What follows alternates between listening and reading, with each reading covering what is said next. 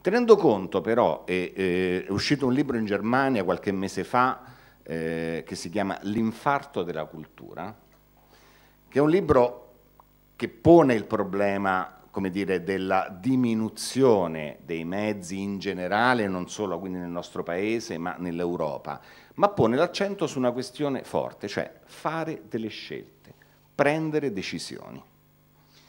Il terzo elemento di consapevolezza, Stefano lo ricordava, è il ruolo della cultura. Allora, intanto usiamo il plurale come in questo bel posto, ruolo delle culture, multiplo, la pluralità. Questo è un concetto che mi piace molto perché è un elemento forte, essenziale, è declinabile. Eh, perché è importante la cultura? Tutto quello che ha detto Stefano io lo condivido. Aggiungo che la cultura, per esempio, oggi può essere un attivatore di risorse di fiducia. Eh, aggiungo che la cultura oggi può essere un elemento per ripristinare l'etica, di cui forse abbiamo un po' bisogno su certi fronti. Aggiungo anche che ehm, è vero che la cultura può essere motore di sviluppo, a condizione che superiamo un po' di retorica, perché il problema che ha caratterizzato molti proclami, anche molte dichiarazioni, diciamo, a partire dal manifesto del Sole 24 Ore, è che tutto si risolva sul fatto che la cultura diventa, come dire, attivatore di flussi economici. Questo è stato il, il tormentone degli eventi, per esempio.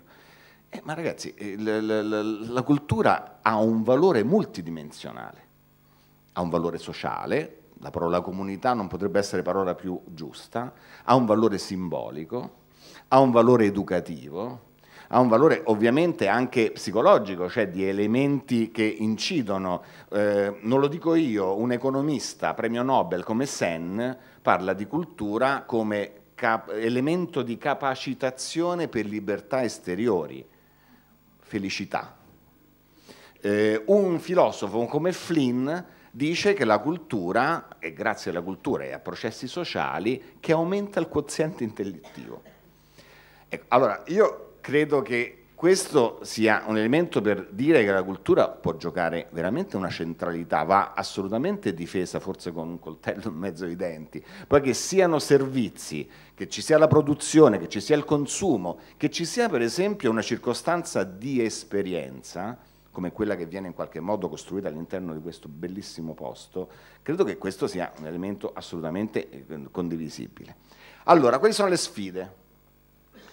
Allora, intanto eh, mi viene da pensare che se c'è una situazione complessa, un artigiano che abita sotto casa mia mi dice sempre, Lucio, ma insomma passiamo proprio tempi complicati. E io dico, no, aspetta, non sono complicati. Se fossero complicati, vista, come dire, facciamo un po' di gioco, la radice della parola, sarebbero spiegati nelle pieghe.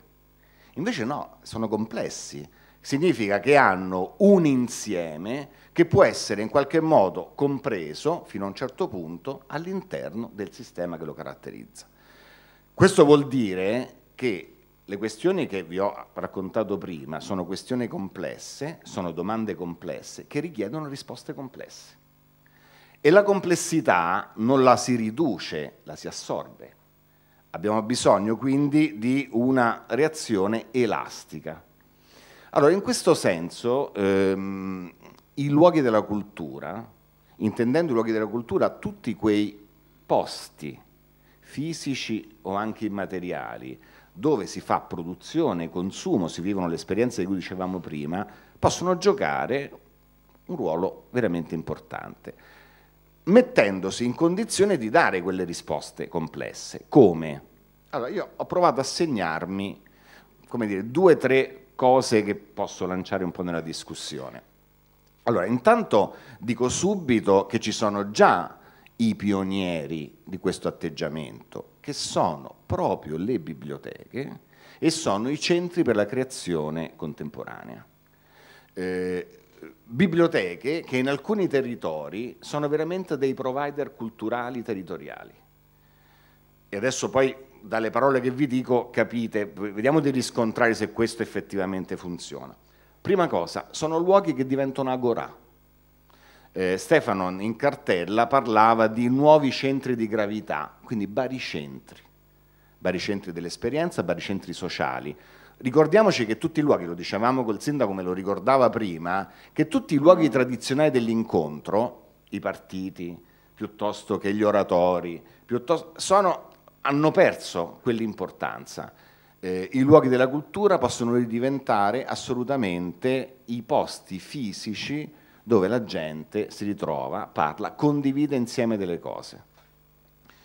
Ehm, operatori culturali, più attenzione al contesto, vuol dire la capacità di leggere quello che succede intorno, vuol dire la capacità di cogliere segnali deboli, vuol dire la capacità di catturare le emergenze che non si intendono come urgenze, ma si intendono come fenomeni che vengono dal basso.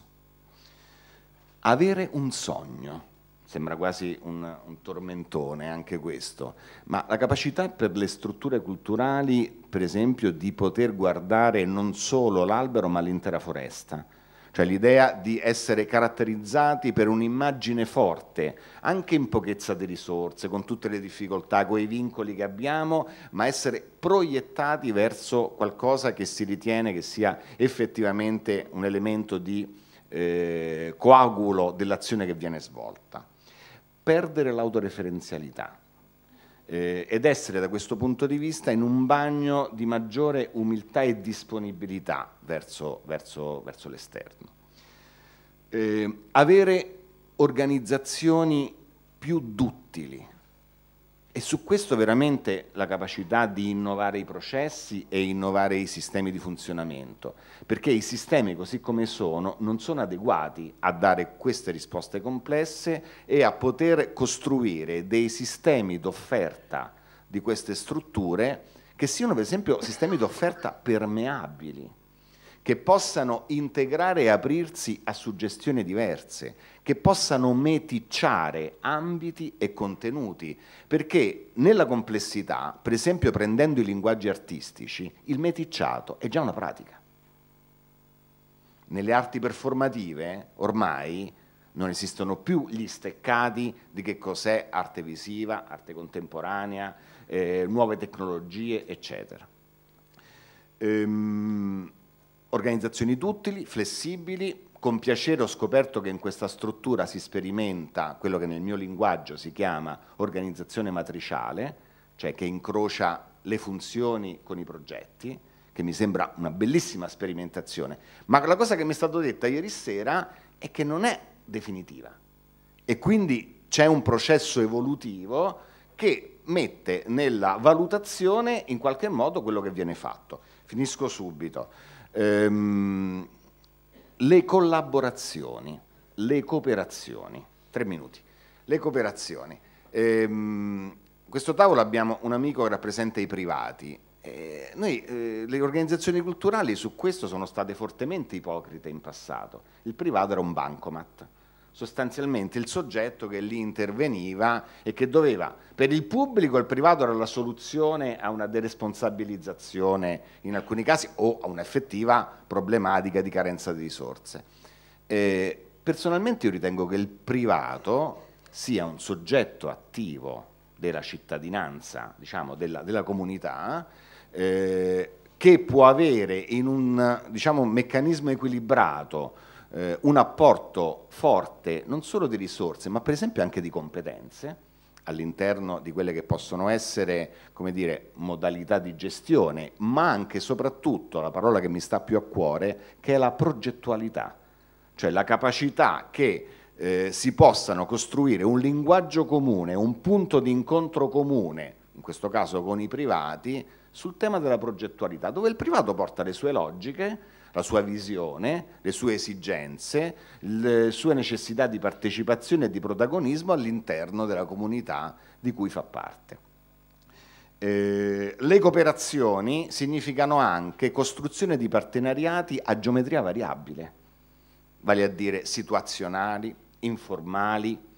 L'organizzazione culturale da questo punto deve diventare acrobatica, Esiste un concetto molto bello della complessità che si chiama competition, che vuol dire, per allacciarsi alle alleanze, vuol dire collaborazione competitiva.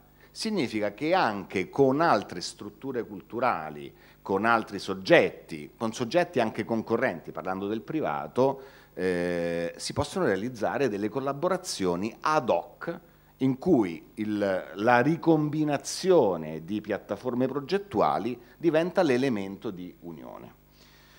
Eh, relazioni, nel senso che questi posti, questi luoghi devono diventare soprattutto il sinonimo di relazione e quindi di scambio, e competenze intese come la capacità anche di se serve, ma soprattutto di apprendere non solo attraverso lo sfruttamento della conoscenza, ma attraverso l'esplorazione di nuova conoscenza.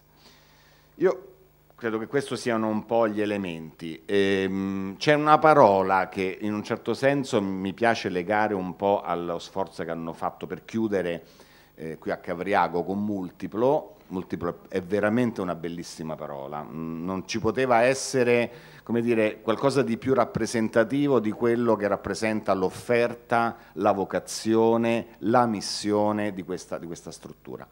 Eh, ma c'è una, una parola per chiudere un po' a fare che è la parola utopia. La parola utopia eh, ci dà il senso di qualcosa che non si raggiunge. Uno scrittore come Galeano dice che la parola utopia è un po' quella tua donna che sta all'orizzonte, tu fai tre passi, lei fa tre passi in più e per quanto ti sforzi non la raggiungerai mai. E quindi l'utopia, lui dice, serve ad andare avanti. Però mi piace pensare che sia invece un pochino più valido per noi in termini di sfide eh, quello che diceva Rodari quando eh, ricordava che l'utopia è il passaggio dal mondo, dell'intelligenza al mondo della volontà. Grazie.